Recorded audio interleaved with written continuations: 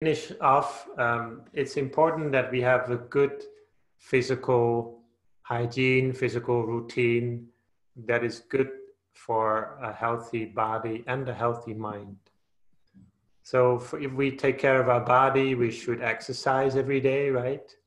We have a good diet every day. We have a good, you know, we take good care of our uh, of the food and the, the, the fluids that we take in, and we have a shower every day. And we should also take some rest, take some break every day, have some sleep. The, the mental routine is also important. And that's something we uh, often overlook. Because meditation, you can compare it in many ways to having a shower, to having food, and even comparing it with exercise. If you talk about the mind as a muscle to be trained, you need to make sure that you train it every now and then. So you can easily uh, have develop a more resilient and strong mind. And it's also important that you of course feed the mind so it's strong. So when we meditate it's also a way to feed the mind. And when you yeah you can also make the comparison with a shower and even you can even say that meditation is a sort of deeper rest for the mind. So even in uh, scientific research, they have discovered that it's very important that uh, when we are meditating, there is a certain the sort of uh, waves in, in, in our brain that are very unique to meditation. And these waves, they indicate a sort of uh, balance between being very relaxed on the one hand and at the same time being mindful. And that's only found in very spiritual practices, especially meditation. So when we talk about the signs of meditation to, to finish this off, uh, to finish this, it's uh, actually, um, it's both in the brain, how your meditation can improve your, your mind, is both in the brain, but also in the immune system even something very concrete like the irritable bowel syndrome, it's it's improved by meditating. So when we are, this is actually a lot of research that you can easily find on, uh, on the internet.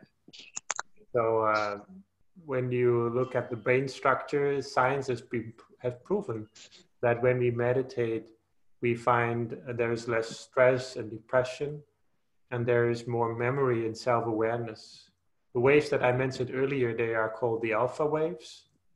And there's even some parts of the brain that have been proven to become thicker when we meditate. So uh, it's, it's kind of like meditation carries over into your daily life and it becomes part of the, the general habit of your mind. Even if you're not doing anything with your mind, like when you are uh, very uh, waiting in a line for something or not doing anything particularly, then your mind goes to the default mode. Then it will also be affected by how you've been meditating on a regular basis. So this is what is uh, been proven in scientific research. You can find any of those terms in in the literature, like default mode network. This has all been proven. So these are some uh, uh, facts and figures that show how meditation in, in, in scientific research is now also more and more being recommended.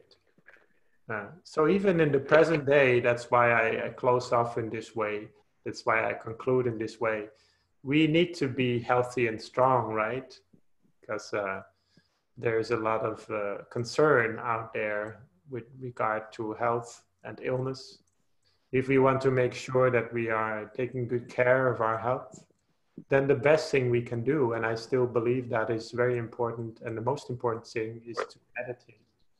And I still think that if everyone everyone were to meditate right now for a week, then we would get rid of COVID 19 within a week. But uh, this is uh, not, unfortunately, not the government's policy of most countries. but this is how we can look at meditation.